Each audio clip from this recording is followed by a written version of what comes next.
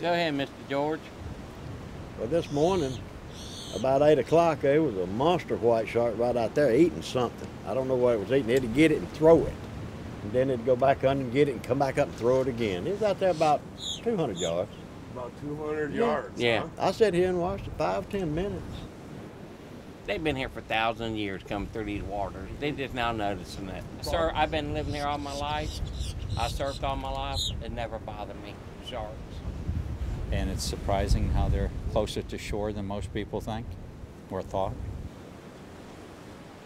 Who do you surf with? I don't surf. That's why I like to see them big sharks. I keep the surfers away from us. Uh huh. You can't fish because of them. Look at that bendo, bendo.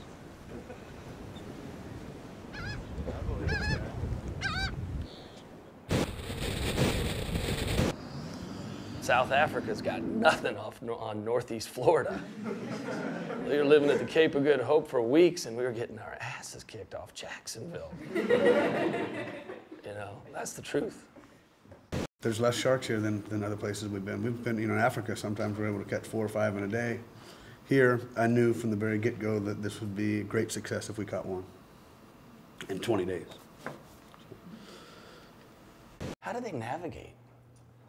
How did this shark, you know, just where's it going? Why? How? Up there, live there for a while, like that spot. Travel down over here, and now it's here. How? Why? Are they using the bottom to somehow navigate with their senses? We don't know. Someone had a question?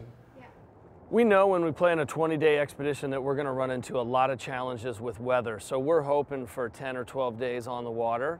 And the key we found lately, we get out and we meet the kids, and who knows, you might be inspiring the next great scientist, the next great ocean advocate. So it's pretty cool to connect all the dots.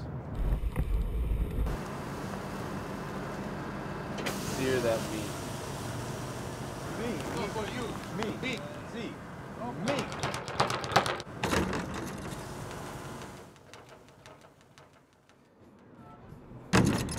If we were to get a shark,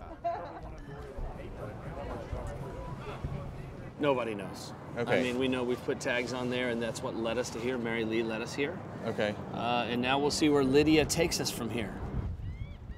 It's beautiful here in, in uh, Jacksonville. Absolutely. Yeah.